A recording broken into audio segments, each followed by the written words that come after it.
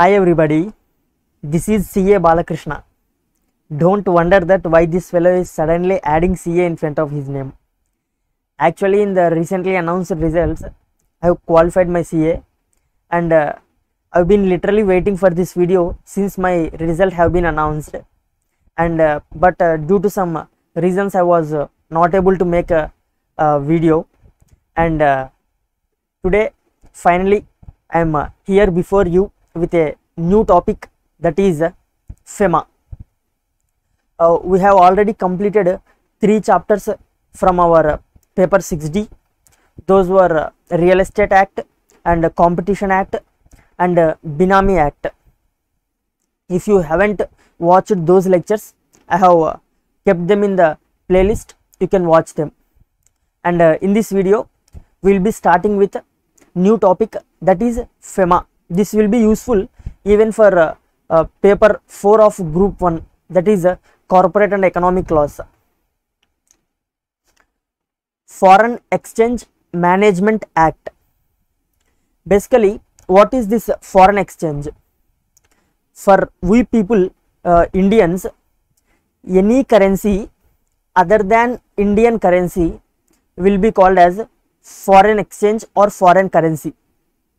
And this act FEMA is mainly concerned with managing this foreign currency or we can say foreign exchange. Both are used interchangeably. Uh, before going into the act, let us understand the main purpose of the act. That is uh, the main theme of the act. Theme of the act. Basically, our Indian government will maintain foreign exchange reserves known as foreign exchange exchequer. Why will government maintain this foreign exchange reserves? See, when India wants to import any product, then the payment has to be made in uh, either dollar or the currency of the uh, party from which we are importing. They will not accept Indian rupees.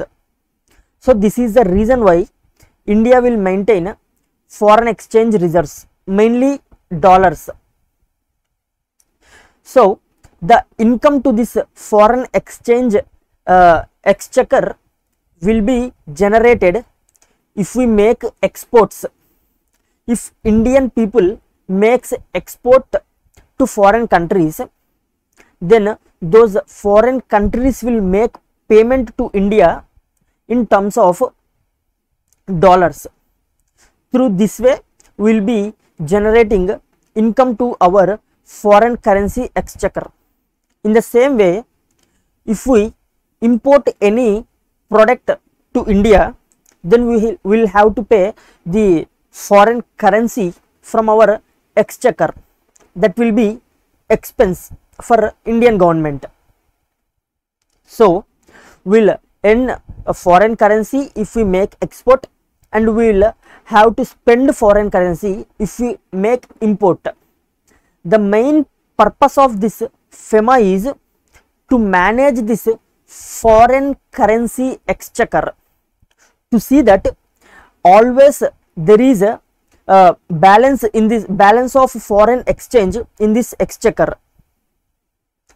Uh, FEMA will ensure this by managing the expenses that are made from the foreign currency exchequer. See uh, how FEMA manages. For example, there is a scheme known as uh, liberalized remittance scheme. This is one of the scheme that has been uh, introduced in FEMA. As per this scheme, every Indian citizen will be allowed to take only two lakh fifty thousand dollars for the purpose of foreign expenditure. That means every Indian citizen can uh, draw only two lakh fifty thousand dollars for the purpose of his foreign expenses. For any expenditure above this limit, he has to take the permission from RBI. This is one of the limit that has been specified by FEMA. There are many other limits. By implementing these kinds of limits, the FEMA will control the expenses that are being made from a foreign currency exchequer. This is the main theme of our FEMA Act. Now, let us understand brief history of FEMA, how FEMA was started. See, first of all, in 1947, that is when we got independence from the British, a act known as FERA, that is Foreign Exchange Regulation Act. This act was made by British people, and while they are leaving India, they have given this act to our Indians and uh, said to implement this act. That is the first time uh, in 1947 when where an act relating to foreign exchange was introduced in India. And later in 1973 this uh, FERA was restructured. Some changes were made in this uh, FERA. And in uh, 1991 the foreign exchange reserves of uh, India has fallen to the very lowest level. Actually the reserves available then were sufficient only to meet the export sorry imports of next 3 weeks. And in this situation the finance minister and some of the officials from RBI have uh, uh, went to Washington DC to ask for a loan from International Monetary Fund. And uh, the IMF has rejected the loan to India. And in the meantime our then prime minister Rajiv Gandhi has been assassinated by a suicide bomber and to replace Rajiv Gandhi Mr. PV Narasimha Rao has been appointed as our new prime minister the prime minister was a new one and the situation of India was very pathetic and the uh, reserves of India Indian foreign exchange were very low in this situation PV Narasimha Rao has uh, reached cabinet secretary and asked is uh, the situation of India very bad?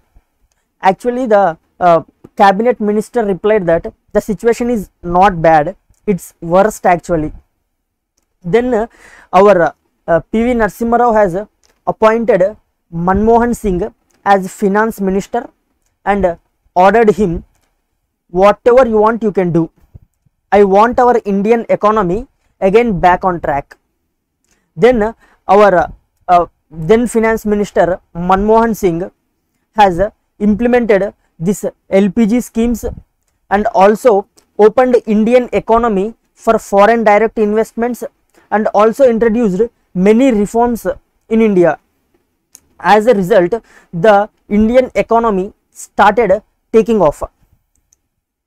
That was the situation in 1991 and in 1991 the LPG schemes were introduced which have earned a lot of uh, foreign exchange reserves for India. And in 1999 uh, FEMA was replaced by FERA. The till 1999 uh, we, we were having foreign exchange regulation act.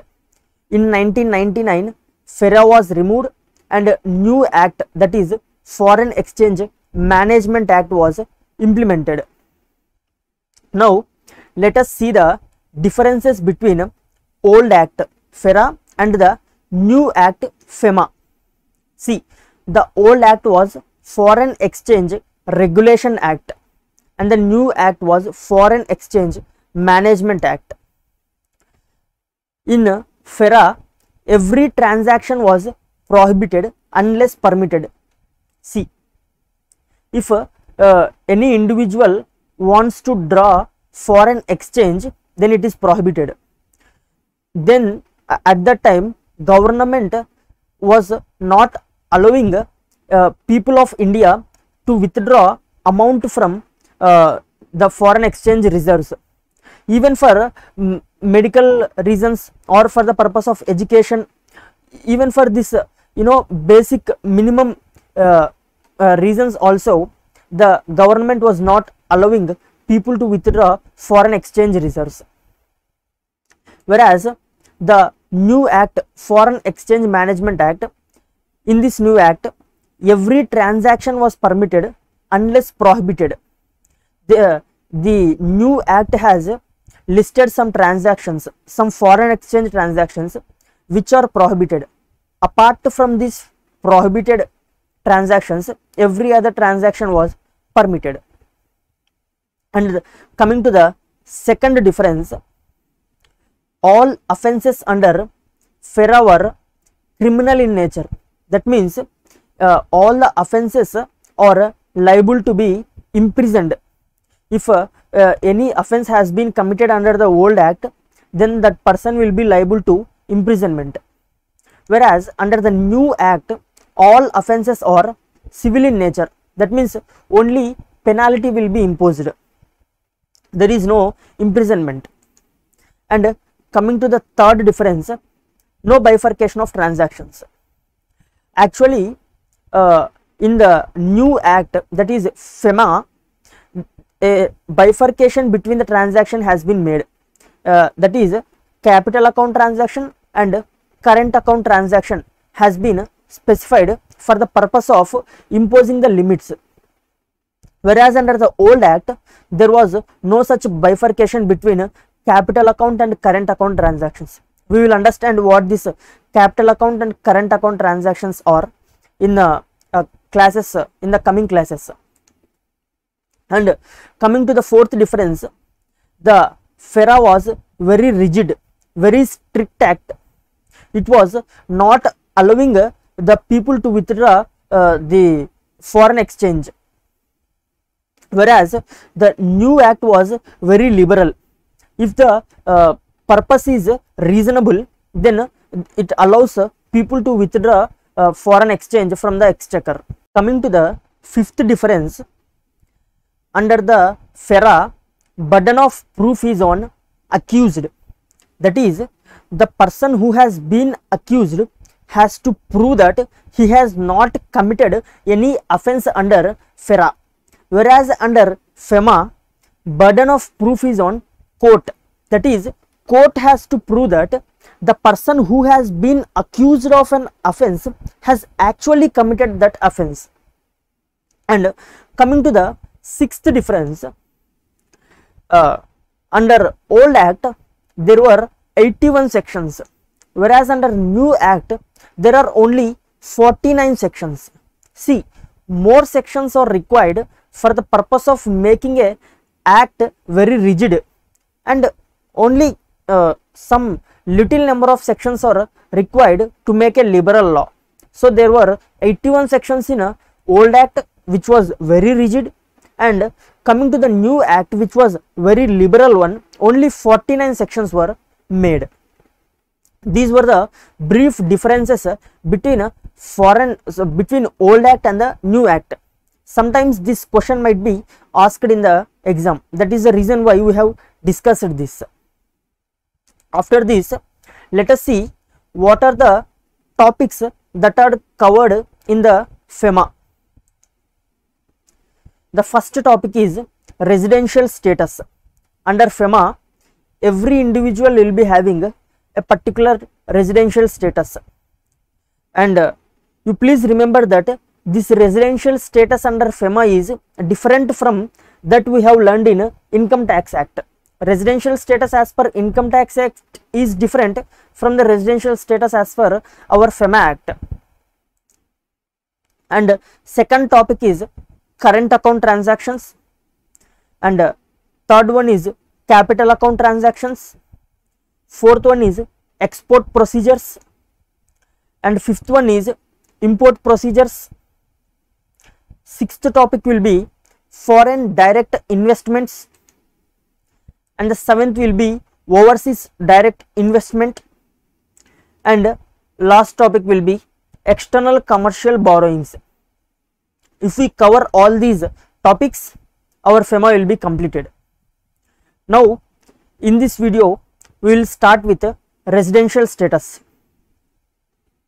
See while learning residential status under FEMA act you please forget the uh, residential status that you have learned in the income tax act. Income tax act residential status is completely different from the one that will be discussed in our fema act. Okay? Yeah under fema there will be two types of residential statuses. First one will be person resident in india and the second one will be person resident outside india. The definition for person resident outside india is any person who is not a person resident in india. See here we will be using pri for the purpose of purpose resident in india and proi for the purpose of person resident outside india. Now if we understand who will be called as pri then we can decide easily who is a proi actually in the act act has given a detailed definition of who will be known as pri and a simple definition to proi any person who is not a pri will be a proi who is a pri we'll discuss it. Person resident in india that is pri see first of all we'll read it. Person resident in india means a person residing in India for more than 182 days during the preceding financial year. See, the first condition to be satisfied for a person to be known as PRI is he should be resident of India for more than 182 days in the preceding financial year. Let's say we are uh, uh, seeing the residential status of a particular person during this year then for the to decide whether he is a uh, PRI in this year we have to check his stay in India in the preceding financial year. If his stay in India for the preceding financial year is more than 182 days then he will be PRI at the first case we can think that he is PRI but uh, still there are other conditions to be satisfied. Okay. A person resident in India for more than 182 days during the preceding financial year but does not include see if he is a, resident of India for less than 182 days then straight away he is a PROI we need not check for these conditions if he stays in India for less than 182 days then he will be straight away a PROI. If at all he stays for more than 182 days then we have to check the next condition. See but does not include means following persons will not be considered as PRI even though his stay in India is for more than 182 days during the preceding financial year. Who are those persons? Let us see. But it does not include a person who has gone out of India or who stays outside India in either case. See, I have marked some words in red color. Those are important. In either case, for or on taking up employment outside India. See, if any person moves outside India for the purpose of taking employment outside India, then he will be not considered as PRI. He will be a PROI. And for carrying on outside India a business or vocation outside India or for any other purpose in such circumstances as would indicate his intention to stay outside India for an uncertain period. See, in these three situations, when a person moves out of India, that is, let's say a person has went to America for the purpose of employment or for purpose of carrying a business in America or for any purpose where his stay in America is uncertain is for uncertain period. In these three situations, he will not be considered as a PRI. He will be a PROI. Even when that person has stayed for more than 182 days in the preceding fi financial year and he goes outside India for these three purposes, he will be considered as PROI only. You can say that these three purposes are specified purposes uh, and any other purpose other than these three purposes is non-specified purposes. Now, if a person moves outside India for these three specified purposes, then he will be PROI. If he moves outside India for non-specified purposes and he has stayed in India in the preceding financial year for more than 182 days, then he will be considered as PRI. Okay. By this, we have completed subpart A. Now we will move into subpart B. Read subpart B along with the first sentence. See, I will read it again. A person residing in India for more than 182 days during the preceding financial year but it does not include a person who has come to or stays in India in either case otherwise than C does not include otherwise than.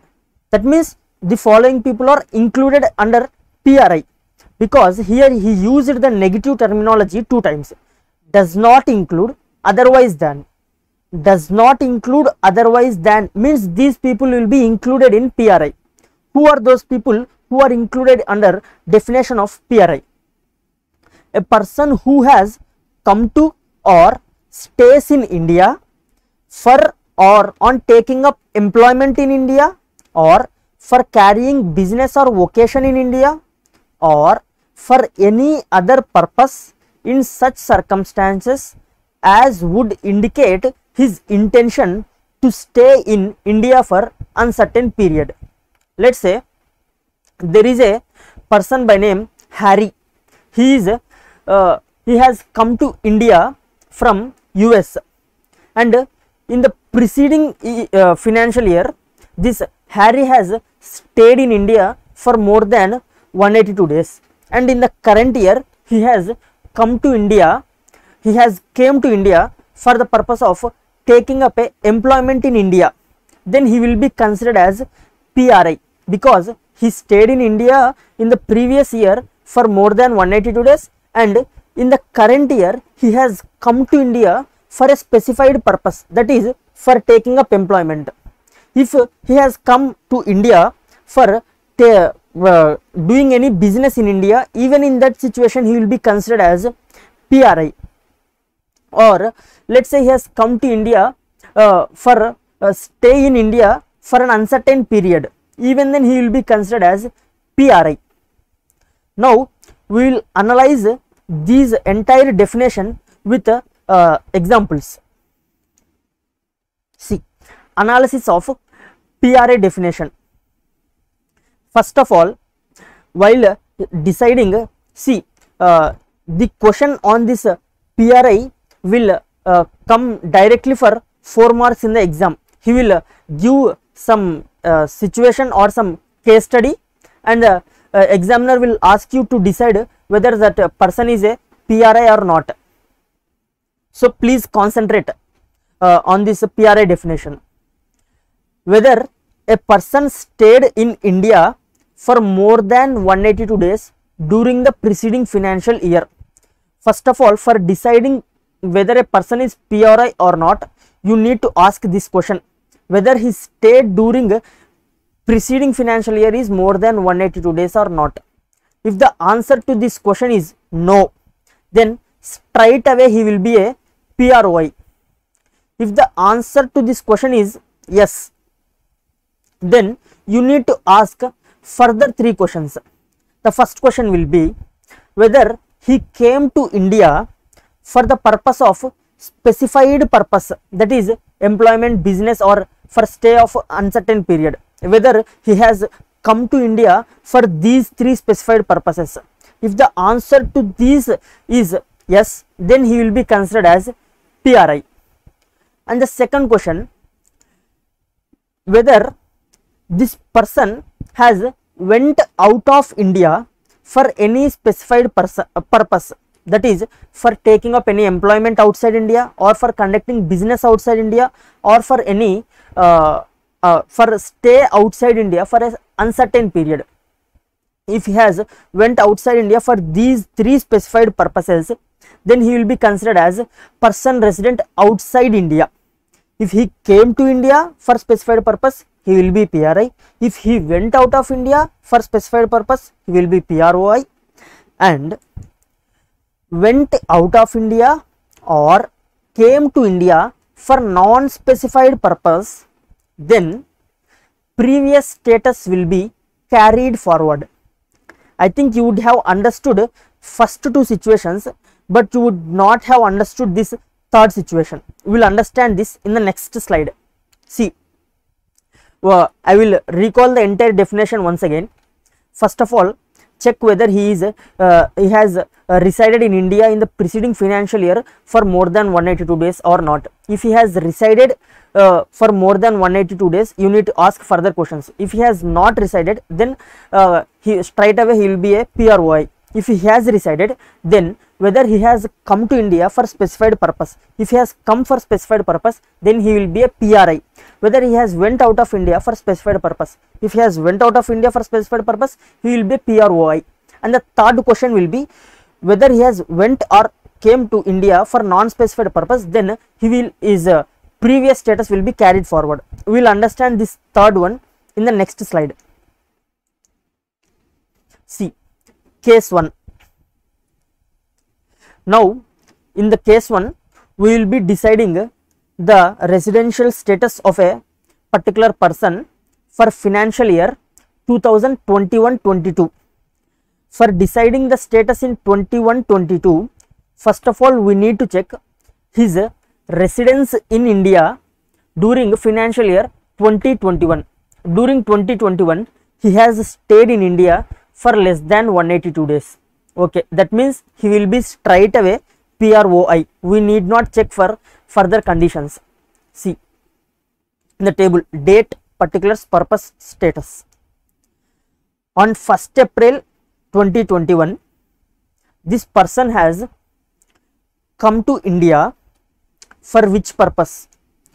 For specified purpose. Even though he has come to India for specified purpose since his stay in India during preceding year was less than 182 days he will be a PROI okay. Again on 1st May 2021 the same person who has come to India has went out of India for specified purpose. That means the person who has come to India for specified purpose has again went out of India for specified purpose. Even in this case he will be PROI the reason is he has stayed in the previous year for less than 182 days in India. That is the reason he will be PROI again on 1st June 2021 he has come to India for non-specified purpose. Even in that case he will be PROI again on 1st July 2021 he went outside India for non-specified purpose. The status will be PROI see this is the beauty of the FEMA uh, a person can have different uh, residential status on different dates of the a particular year. That one we will be observing in our second case. Here uh, during uh, all the months he, he is a PROI in the next case we will be observing the second situation. See in the second case stay in India during financial year 2021 was more than 182 days. Even here we are uh, checking the residential status of particular person for financial year 21 22 for this purpose we have to check his uh, residence in India during the preceding financial year that is 2021 that is more than 182 days. Okay. He can be called as PRI we will see further conditions. Date. On 1st April 2021 he has come to India. Okay. During the preceding financial year he stayed for 182 days. And during the current year on 1st April 2021 he has come to India for which purpose? For specified purpose. That means for employment or business or for uncertain period. That means he can he is called as person resident in India. And on 1st May 2021 he has went out of India the person who has came to India for specified purpose on 1st April 2021 has went out of India on 1st May 2021 for which purpose? Again for specified purpose that is for employment, business or for uncertain period. He went out of India that means he will be called as PROI because we have discussed in the definition if he went out of India for specified purpose he will be PROI. Now we will see the next on next date. On 1st June 2021 the same person who has went out of India for specified purpose has come to India. For which purpose? For non-specified purpose. That means other than employment business or uncertain period. We have seen that uh, in the third case the previous status will be carried forward. That is he will be PROI we will understand this once again. First of all on 1st April 2021 he came to India for specified person. That is he belongs to us. He is a person resident in India. And on 1st May 2021 he went out of India for specified purpose. That means he is not our guy. He has went out of India for employment or business. He is a PROI and again on 1st June 2021 the person who has been treated as PROI has came to India for not non-specified purpose. If he has come for specified purpose then we will be treating him, as PRI since he has come to India for non-specified purpose he will be treated as PROI only. That is previous status will be carried forward. That is the status of 1st May will be carried forward okay and on 1st July 2021 again he has went out of India for which purpose for specified purpose that means he will be PROI person resident outside India. Again on 1st August 2021 he has come to India for which purpose? Again for specified purpose he has come to India. Then in this case we will be treating him as person resident in India. Okay. And again on 1st September 2021 he has went out of India for which purpose? for non-specified purpose. See, if you see the term non-specified purpose, the previous status will be carried forward. That is person resident in India. He will be treated as person resident in India. Hope you understood these two cases and we will understand this again in detail in the next slide. See, for the purpose of deciding the residential status of any person you just remember these four golden rules that I will be telling you. First one, first of all, you check his residential, uh, check his residence in India during the preceding financial year. Stayed for, rule 1, stayed for less than 182 days in India during preceding financial year. Then he will be straight away PROI. That is rule number 1 coming to rule number 2 came to india for specified purpose then he will be pri provided that he has stayed in india for more than 182 days in a preceding pre, Uh, financial year. If this condition is satisfied and along with this condition rule 2 has been satisfied then he will be pri coming to rule 3 went out of india for specified purpose then he will be proi coming to rule 4 came to India or went out of India for non-specified purpose. Wherever you see non-specified purpose you simply carry forward the previous status. That's it if you remember these four rules it will be very easy for you to determine the residential status under FEMA. Hope you understood this concept of residential status under FEMA. Till now we have discussed residential status of individual. Now we will see the residential status of artificial persons under FEMA. That is companies partnership firms all these kinds of artificial uh, not partnership firm companies and body corporates uh, the will see the residential status of this artificial persons under FEMA see any person or body corporate registered or incorporated in India will be considered as person resident in India. If any body corporate is registered or incorporated in India, then it will be a person resident in India. Okay, that is simple. An office, branch or agency in India owned or controlled by person resident outside India will be considered as PRI because the branch or residence uh, branch or agency is present in India. However, uh, it is being controlled by PROI since the the uh, it is being situated in India it will be considered as PRI only even though it is being controlled by PROI. Coming to the fourth point, an office, branch or agency outside India owned or controlled by person resident in India will be called as PRI. See, any branch or office which has been situated outside India, let's say in US, but such branch is being controlled by person resident in India, then such branch will also be treated as PRI only. This is the complete definition of PRI that is person resident in India. By this we have completed the definition of PRI. Now we will see applicability of FEMA.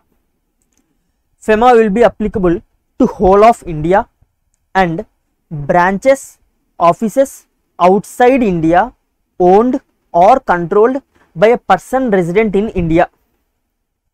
We will analyze the applicability of FEMA transaction wise. See, let us see the table analysis. The headings are person, place of transaction that is uh, which person is uh, uh, involved in the transaction either PRI or PRY and place of transaction where the transaction is being taking place either in India or outside India and the currency of transaction in which currency it is being taking place in uh, Indian rupees or any currency other than Indian rupees and the applicability of the FEMA. Let us see this uh, applicability transaction wise. Let's say the person being involved in the transaction is person resident in India and the place of transaction is India. Any person resident in India is entering into a transaction in India and the currency of the transaction is Indian rupees. Then whether the FEMA will be applicable to this transaction? The answer is no. Since he is entering into transaction in India in Indian rupees only and it is being entered by PRI, so he, the FEMA will not be applicable. This is the first case. Coming to the second case. Now, person is again PRI, person resident in India is entering into a transaction in India only, but the currency of the transaction being entered by PRI is in dollars. This time he is not entering into transaction in rupees but dollars. In this case, FEMA will be applicable to this transaction. Okay. Coming to the third case. Again, the person involved is PRI and the place of transaction is outside India. This time he is not taking the transaction in India but he is entering into transaction outside India and the currency of transaction whether it be rupees or dollars since he is entering into transaction outside India FEMA will be applicable to this transaction. The reason is the transaction is being taking place outside of India that is the reason why FEMA will be applicable. Coming to the fourth condition oh, sorry fourth case here the person being involved in the transaction is person resident outside India okay? And the place of transaction is India. A person who is resident outside India is entering a transaction in India and the currency of transaction be either rupees or dollars the FEMA will be applicable. Because here the person involved is person resident outside India that is the reason why FEMA will be applicable. Coming to the fifth case, PROI. Again, person resident outside India. Place of transaction is outside India. A person who is residing outside India is entering into a transaction outside India and the currency of transaction is either rupees or dollars. The FEMA will be not applicable. However, here there is some dispute. See, if a person resident outside India is entering into a transaction outside India in dollars, then India is no way concerned with this transaction because dollar it is not Indian currency and the transaction is being taking place outside India. It is not concerned with India and the person being involved is person resident outside India. So the FEMA will not be applicable. But if the transaction is being taking place in rupees, a PROI is entering into a transaction outside India in rupees, Indian rupees, then if we see it theoretically, the act should be applicable to the rupees transaction that has been entered outside India by PROI. But in reality, the uh, this uh, applicability is disputed. So uh, we'll uh, see this as not applicable only. Okay. Coming to next slide section 3 see section 3 talks about some prohibitions. It will give some four types of transactions which are prohibited which should not be entered. We can say them as blanket prohibitions. What are these blanket prohibitions? Four prohibitions are covered under this section. Okay. What is the first prohibition no person shall deal in or transfer any foreign exchange or foreign security to any person not being a authorise person see under FEMA there are some person known as authorise person we will discuss the detail definition of authorise person in later part of the our classes but uh, section 3 says that if any person who is resident in india wants to transact in foreign currency he has to transact it only through the authorized person only.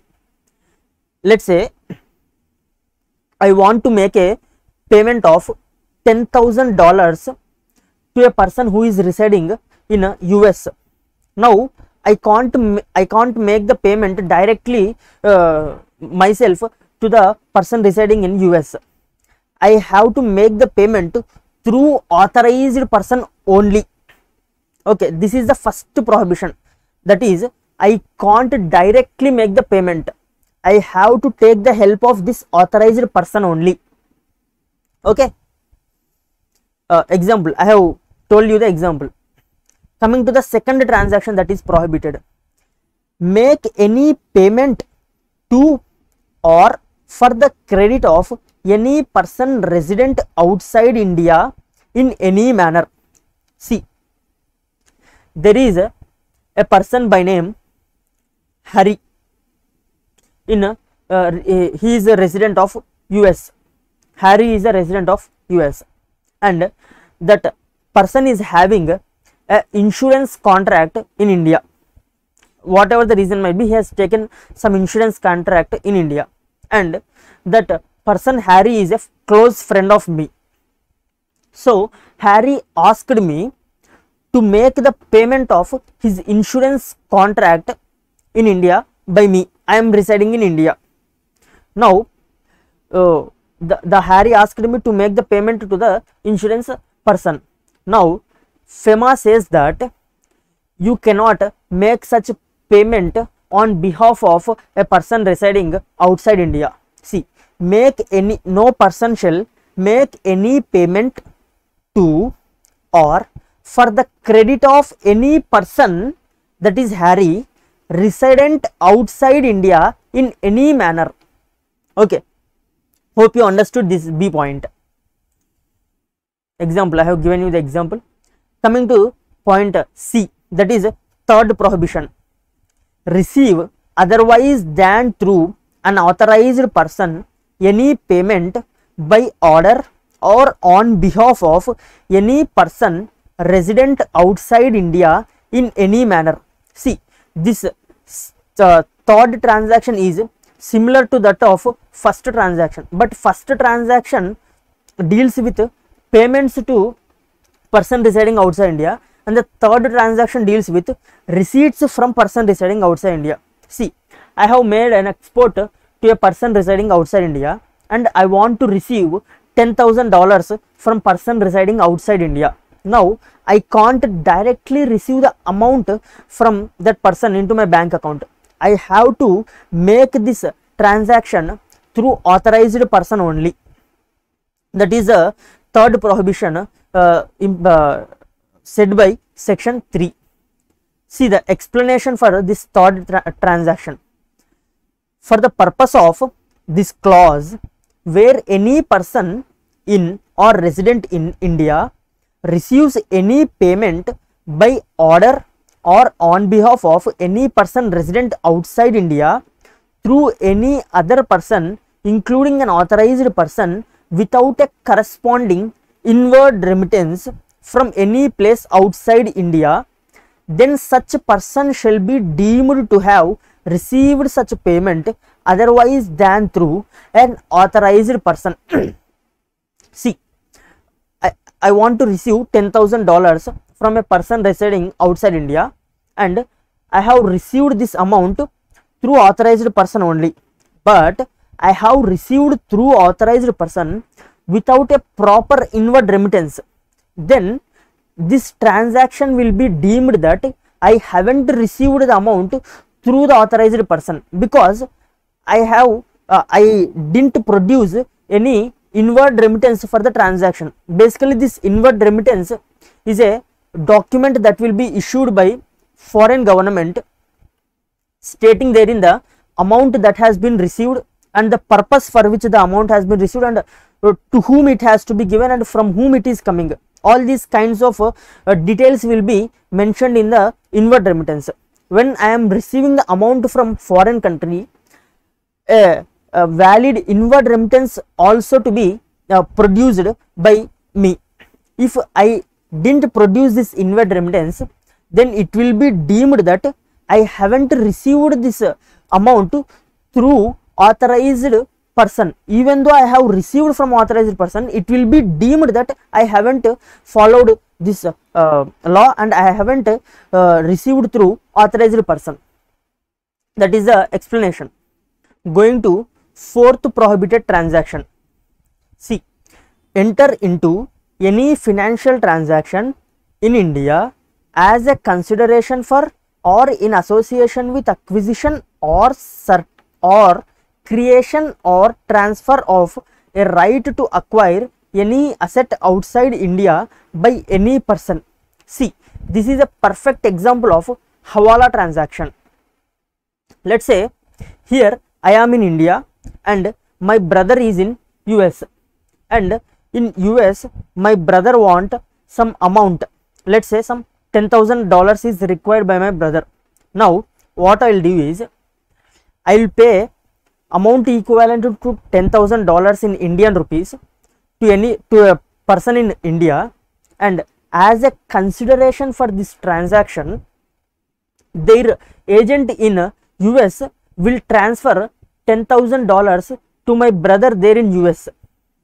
These kinds of transactions are prohibited under FEMA. These are known as Hawala transactions. That is what said by point D we will read it once again. Enter into any financial transaction in india. That is me making payment of uh, amount equal to $10000 in india as a consideration for or in association with acquisition or creation or transfer of right to acquire any asset outside india by any person. That is my pers my brother in us will receive $10000 from their agent this will be called as hawala transaction and it is prohibited under fema act third the above transaction may be carried on as otherwise provided in this act or with the general or specific permission of Reserve Bank of India. However, with the prior approval of RBI, we can we can uh, carry these kinds of transactions. I want to give a give you a small information that have created a Telegram group uh, for uh, doubts clarification, and uh, I am giving you the link of this uh, Telegram group in the description. You can join the group for purpose of clarification of doubts. And that's it for today guys. We'll discuss the remaining topics in the next video. Thank you